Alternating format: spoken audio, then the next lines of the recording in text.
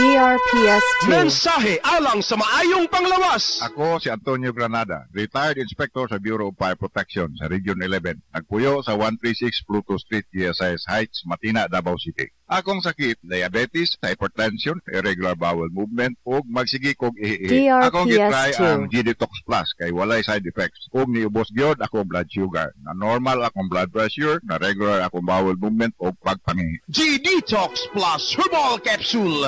Ang pinakakusog. Mapalit sa Rose Pharmacy ug sa ubang mga butika.